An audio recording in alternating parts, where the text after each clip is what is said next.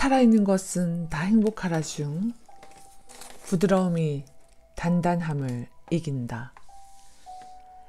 임종을 앞둔 늙은 스승이 마지막 가르침을 주기 위해 제자를 불렀다.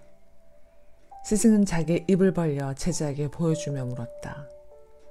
내 입안에 무엇이 보이느냐? 혀가 보입니다. 이는 보이지 않느냐?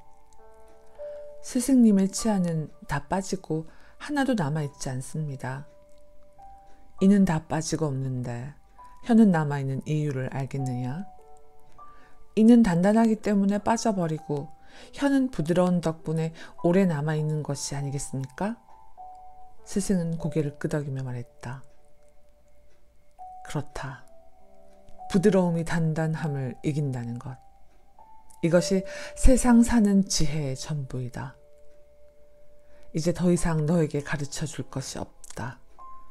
그것을 명심해라.